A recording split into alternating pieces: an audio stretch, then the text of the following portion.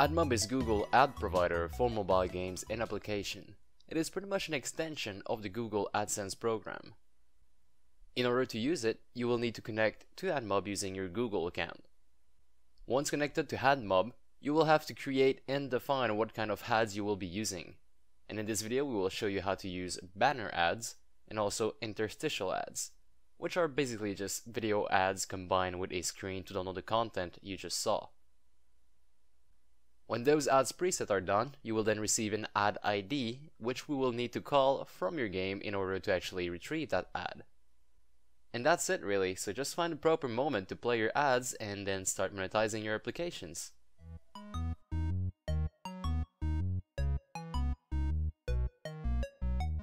Okay, so the first step to monetize with AdMob is to go over to their website, which is google.com slash admob, and then we will sign in. If you don't have an account, of course, you will have to sign up. You're going to be using your um, your actual Google accounts, the one you're logged in right now if you're watching a YouTube video, or the one uh, that saves your preference on Google.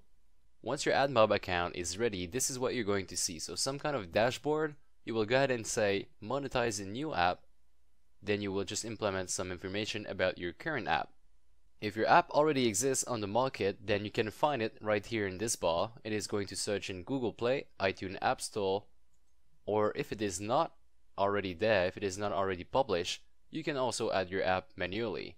So I will do just that. I will call this test app, and then I'll select my platform, so Android, and then add app you will get some more information about the ad you're trying to implement right now. So let's go ahead and start with a simple banner ad. Then you can choose if you want text, if you want image in there. And um, basically just removing one of them is going to shorten the amount of result you might get and you might get a lower CPM. So if you just enable both of them, you have bigger chances of making more money. Now as for the rest, it's just some simple information and you can also add a uh, ad unit name. So in this case, I'll just call mine um, top banner ad. Hit save, and now as soon as we save this, we get our ad unit ID. This is what we are interested in. So I will go ahead and just write this down somewhere on my other screen so you don't actually see it and we will create another ad unit since we're there. This time it is going to be a video ad, so this one. So you can choose whether you'd like the text, the image, or the video ad. You can just simply choose the video if you wish. In my case, I'll just be leaving everything on. So basically this interstitial ad pretty much just means that you're going to have some kind of publicity and then afterward you're going to get a second screen that is going to prompt you if you want to download the, uh, the content of that publicity. I will just leave all of them on and I'll type video ad. Hit save and now we have our second ad unit ID. I will also copy paste this somewhere else. Alright, so once we do have our ad settings, once we do have those things, the uh, ad unit ID, now we need to actually install a SDK for Unity. If you go over to GitHub over here on this branch, which is also a link in the description below, so it's going to be the first link in the description below. If you go here, and download this as a zip, you will actually get the Unity AdMob SDK. So let me actually show you how this works. Okay, so here it is. You will need some kind of archive application to uncompress this. So either WinRAR or 7-zip. Just get the one you like the most and right click on it, extract. Now, once we have the extracted folder, there should be a AdMob Unity plugin while your project is open inside of Unity like, like right now, you can double click on the plugin and it's actually going to import it inside of your Unity folder. Now mine was already imported so that's why it gave me this warning message. But basically you are going to get a plugin folder with the AdMob API in it and also a folder for Android and also iOS. Alright, Let's go ahead and create some kind of ad manager. So I'm going to create a new C sharp script and call it ad manager and I'll just drag and drop it here. So what I was thinking of doing is actually having a ad manager something, some kind of object that persists throughout my whole application. So this object is going to not destroy on load. Every time I change scene, it's still going to exist, but I will be calling it from different places in my code.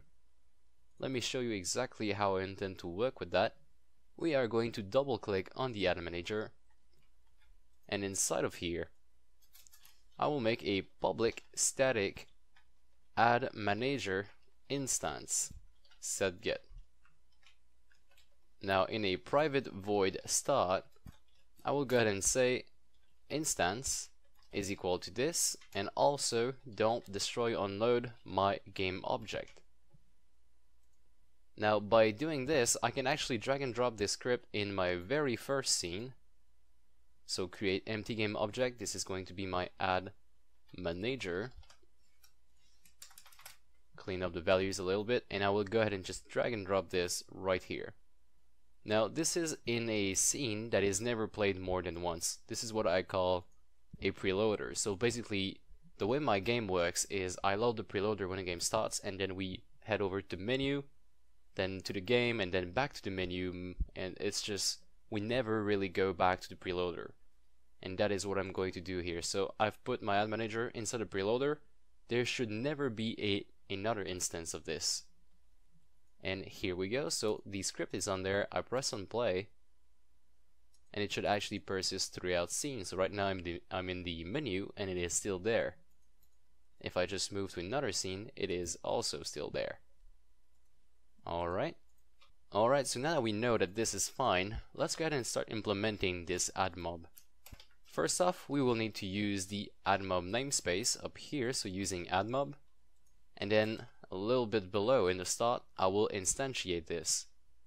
So AdMob dot instance oh, AdMob with a capital A dot instance dot initialize. So init AdMob like this. Now my IntelliSense didn't really work so let me just try again. There it is. So initialize AdMob and this takes in parameter two strings the first one being a banner ID and the second one being a full ID which is also um, called the video ID so basically what we're going to be giving it is the uh, the first ID we got when we made our banner and also the video ID we've got while making our video ad. Now I still got those lying somewhere here. So that is my banner. And let me just get the other one here. That is the video ad. Now you could also make this um, public strings that might actually be a little bit more useful and I'll just put them in here instead. So we will initialize AdMob using its banner ID and then its video ID. Alright. Now back in the engine, I will go here to the ad manager and then just paste my values. Like so.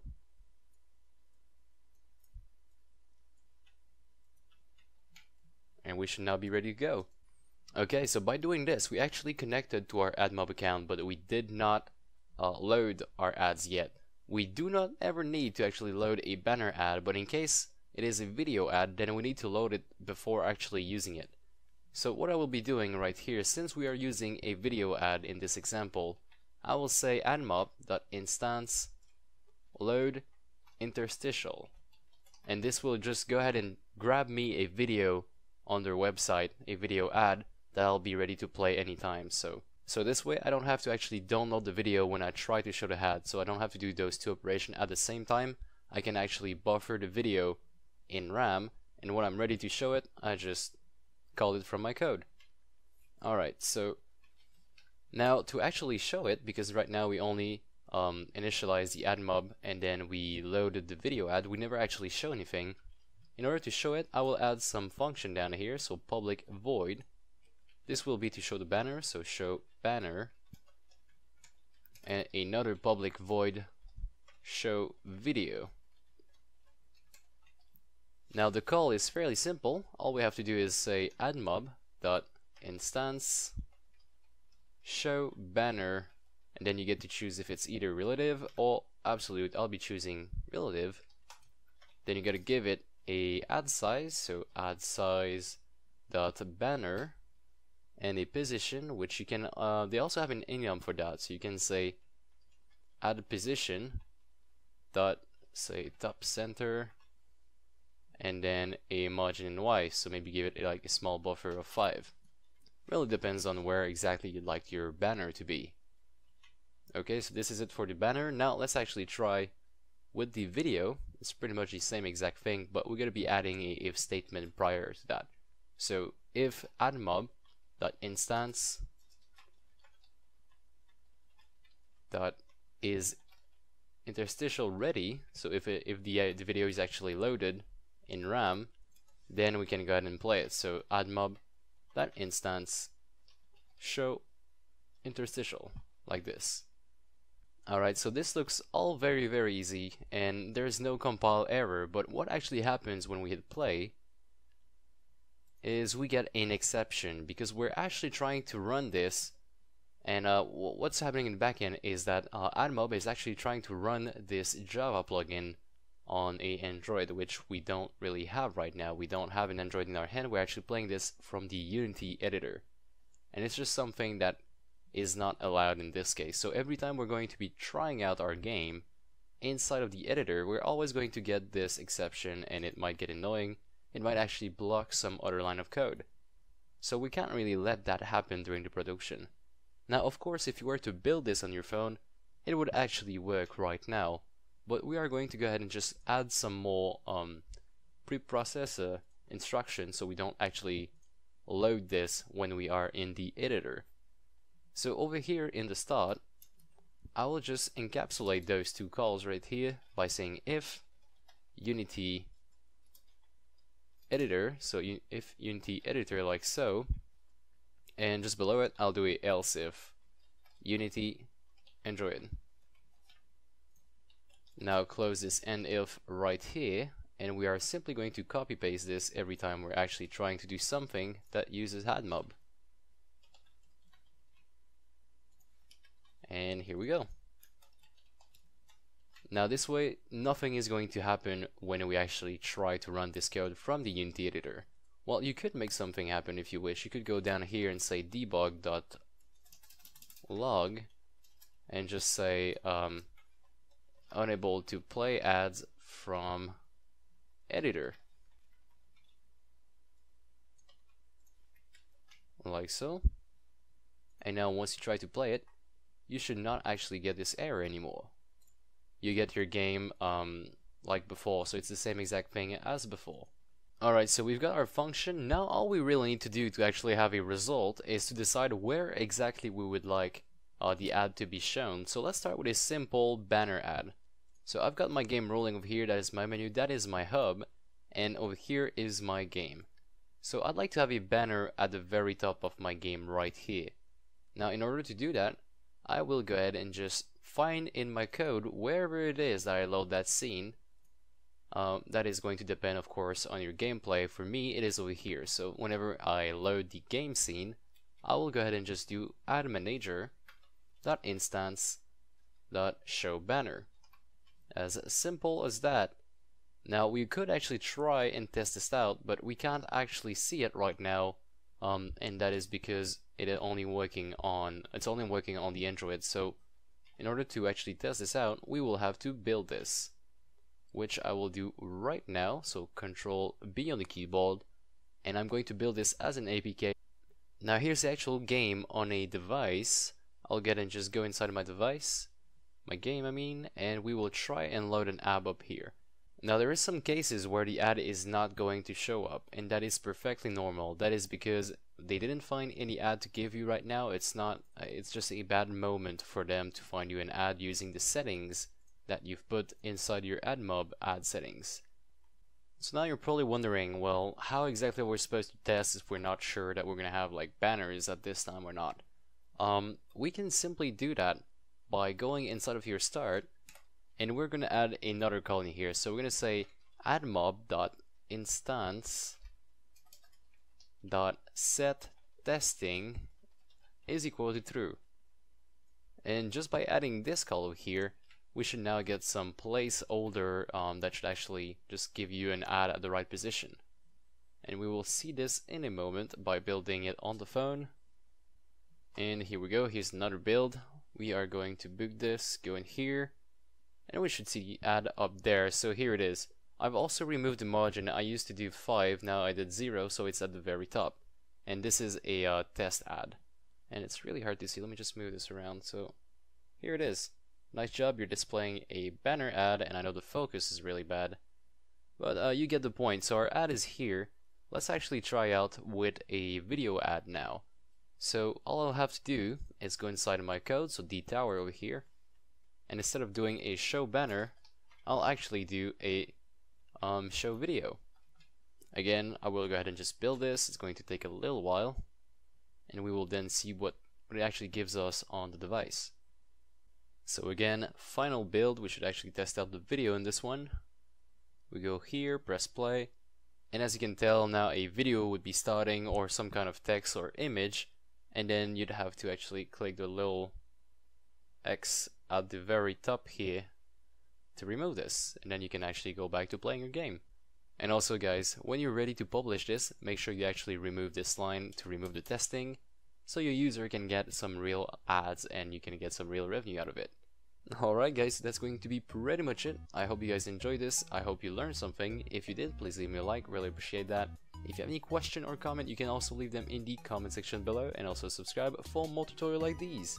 Thanks a lot for watching and I will see you guys in the next one.